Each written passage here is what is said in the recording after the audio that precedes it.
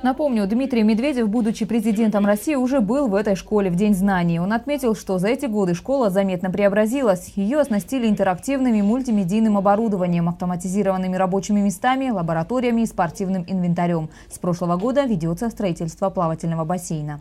Школа ваша, она преобразилась. Я у вас в гостях был 6 лет назад, и вот тогда все выглядело совершенно иначе.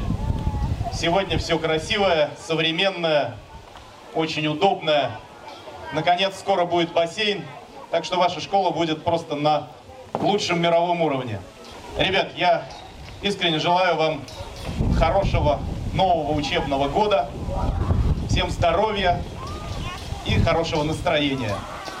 Приеду в следующий раз посмотреть уже открытый бассейн. Надеюсь, что все будут плавать. Праздником, с Днем Знаний!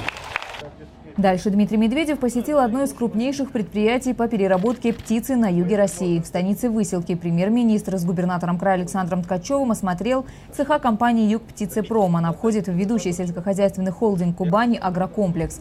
Выселковская фабрика – одна из тех, где после введения эмбарго уже начали наращивать производственные мощности, чтобы увеличить количество выпускаемой продукции, которая заменит импортные аналоги. Микроволновку и пошло. Это очень растущий сегмент рынка. Уже все подготовлено. Шашлык аппетитный с косточкой. Ну, реально хороший напор.